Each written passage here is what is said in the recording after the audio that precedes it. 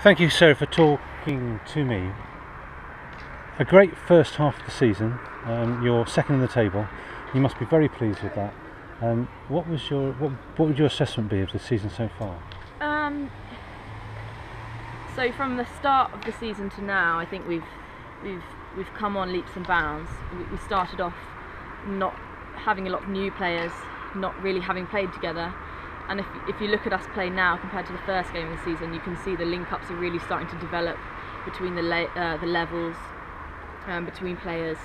So we, we've made big improvements on that. Um, that's yeah probably the biggest biggest thing for us.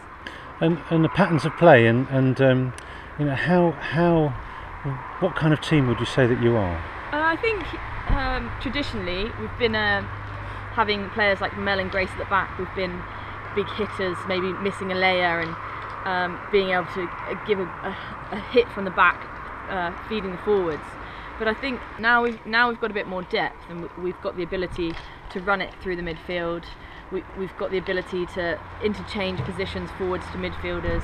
So we've got a, a, a lot more depth than we had in previous seasons. had a week a week's break. You know, no games this weekend. Yeah. How does that fit in your season?